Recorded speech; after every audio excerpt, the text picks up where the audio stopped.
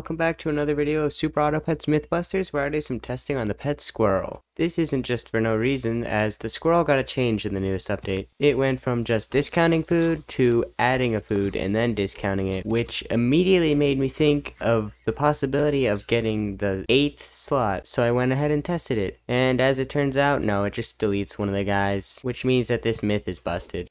But the next myth I want to test out is if you had multiple squirrels, if it would replace more of the shop and add more food. As it turns out, this is actually true and you can replace the entire shop with food. Basically turning squirrel into the old squirrel, except it happens every turn and it only requires a cheap cheap price of your entire team full of squirrels. Anyway, that's basically it for this video, so please remember to like, comment, subscribe, and goodbye.